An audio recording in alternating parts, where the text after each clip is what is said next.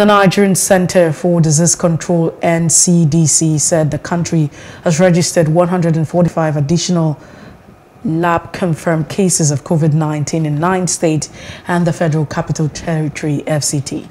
The NCDC via its website on Sunday morning said the additional infections in the country moved up to 253,685 on Saturday, indicating on Saturday alone that there was an increase from 35 cases recorded the previous day.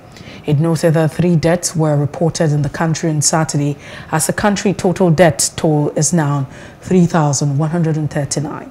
The agency added that the Omicron variant is dominant variant in the country and the BA2, the subvariant of the strain, is more prevalent in India now. Meanwhile, the World Health Organization WHO pointed that the BA2 subvariant has been detected in 57 countries, predominantly in Asia and Europe.